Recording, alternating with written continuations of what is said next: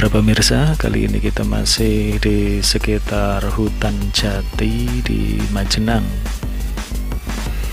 Jadi sekitar perhutani.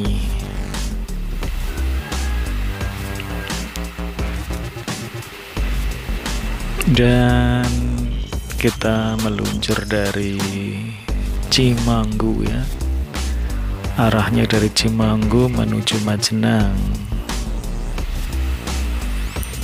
Ya pemirsa, kali ini kita sudah memasuki area yang cukup indah. Nah, ini ada jembatan.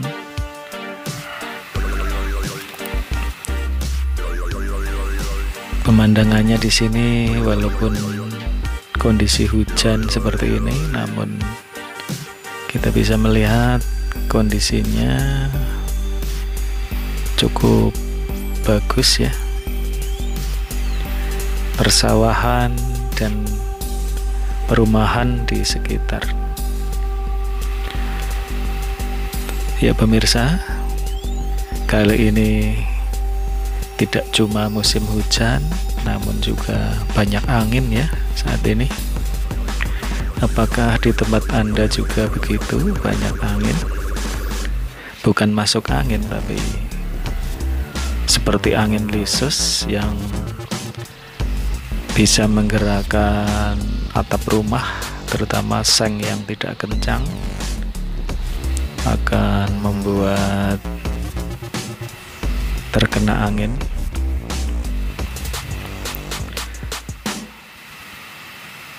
Hal itu bisa diatasi dengan mengganjel ya, mengganjel atap rumah dengan uh, genteng atau apa? Seng ya misalkan seng yang suka ngelintap-ngelintap kena kena angin bisa diganjel pakai genteng. Atau yang lain untuk memperberat uh, agar tidak terbawa angin. Namun demikian sebaiknya jangan batu ya karena batu itu kan keras sekali takutnya. Nanti menggelinding dan bisa kena kepala. Ya begitulah saudara. Kondisi saat ini banyak angin. Tiap pagi siang sore angin.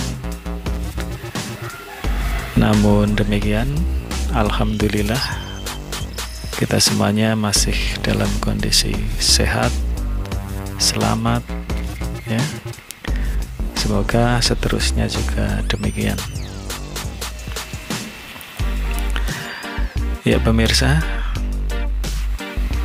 suasana di Cilacap Barat, daerah Majenang dalam kondisi hujan ya seperti ini. Cuma alhamdulillahnya ya jalanannya bagus. Ya, Kondisi hujan, kalau jalanannya berlubang akan lebih sulit lagi. Dikira jalanan rata malah masuk lubang. Ya alhamdulillah seperti ini jalanan kita bisa lihat bersama. Di daerah Majenang jalanannya bagus, aspalnya bagus.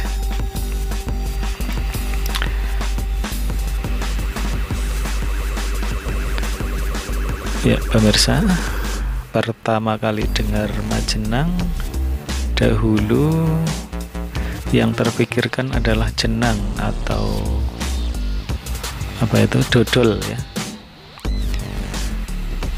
Dodol semacam dodol Garut karena jenang itu kan uh, nama makanan. Saya tidak tahu ini daerah Majenang riwayatnya apa dulu dinamai dengan nama Majenang.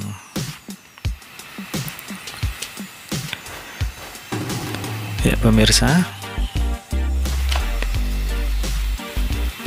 hujan tidak henti-henti mengiringi perjalanan saya saat ini.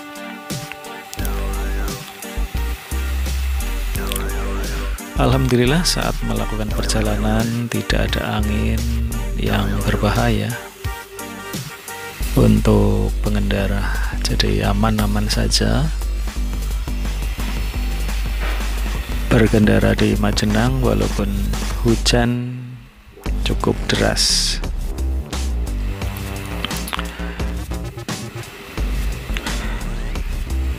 Ya saudara di area sekitar pasar ini area sekitar pasar. Cukup ramai walaupun hujan deras. Lihat parkiran masih banyak kendaraan.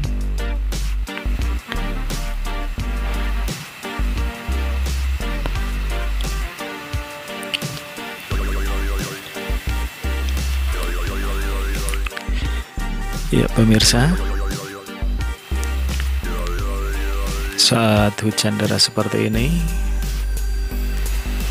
akan sulit bila lupa membawa mantel atau jas hujan.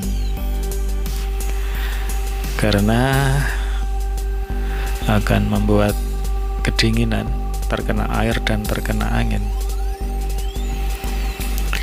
Lebih-lebih kalau perjalanannya di ya, sekitar pesisir ya di pesisir yang anginnya tentu akan lebih kuat.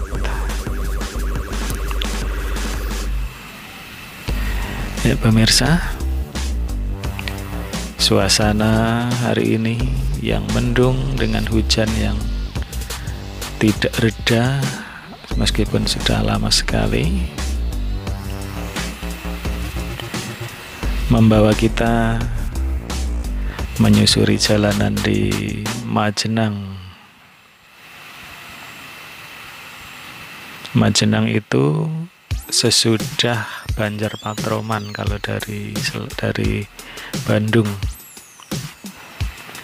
Setelah Banjar Patroman Wanareja kemudian Majenang kalau dari timur ke barat ya setelah Karangpucung Cimanggu kemudian Majenang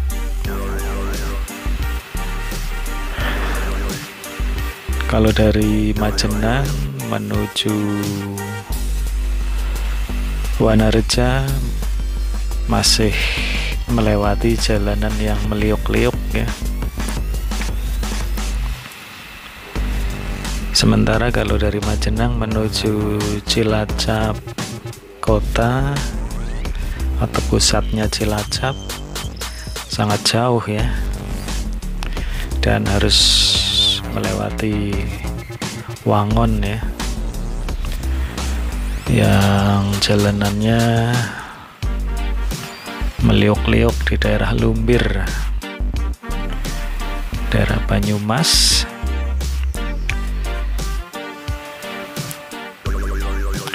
Ya pemirsa. Hujan makin deras terasa. Saya mau nyari tempat untuk berhenti dulu ini. Mau membenahi kamera ini. Ya pemirsa sampai di sini perjalanan kita di daerah Majenang.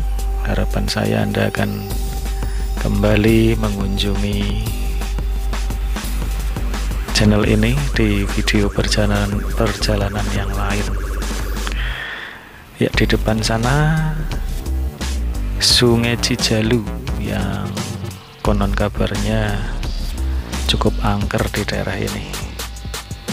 Sungai Cijalu Majenang. Yang muaranya di Citandui ya